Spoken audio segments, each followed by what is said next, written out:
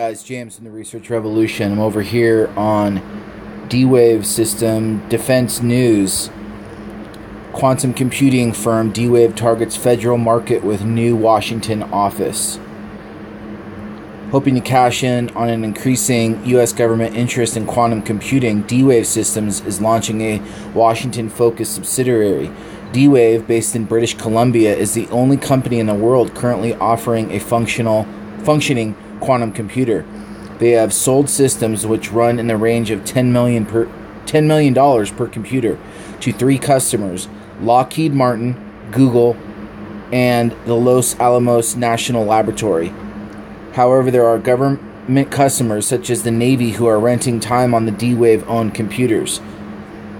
President of D Wave, Bo Ewald International, told Defense News that the decision to open a government focused subsidiary was in many ways a practical one.